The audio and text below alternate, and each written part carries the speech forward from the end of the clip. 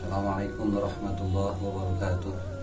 Alhamdulillah wa syukurillah Wassalatu wassalamu ala rasulillah. Sayyidina Muhammad ibn Abdullah Wa ala alihi wa sahbihi wa mawala. Amma ba'd.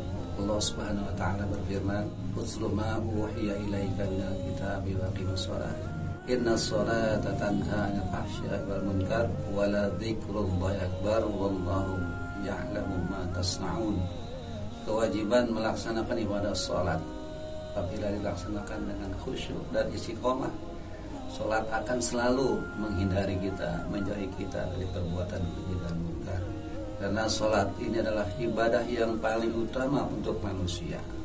Kalau bisa diibaratkan kedudukan sholat di dalam Islam sama halnya kedudukan kepala di atas badan. Eh, badan tanpa kepala tentunya manusia tidak akan hidup. Tapi kalau masih ada kepala, walaupun tidak mempunyai tangan atau kaki, masih bisa hidup. Begitupun sholat di dalam Islam.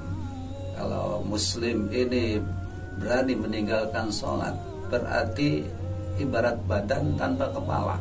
Oleh karenanya menyikapi salah satu bagian dari rukun sholat itu ada dua sujud di dalam satu rokaat dan duduk antara dua sujud.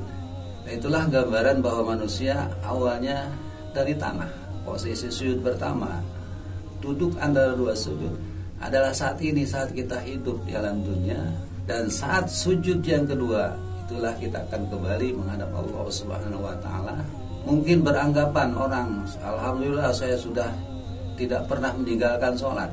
Tapi jangan lupa ada kewajiban lain, ada tanggung jawab kita di belakang kita.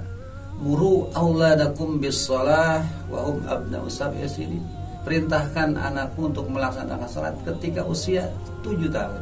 Inilah penekanan bahwa kewajiban orang tua khususnya bukan hanya kewajiban pada dirinya untuk melaksanakan sholat, juga untuk kewajiban kepada anak dan keturunannya. Nah mudah-mudahan sholat yang kita laksanakan akan menambah keyakinan kita, kekhusyuan kita kepada Allah.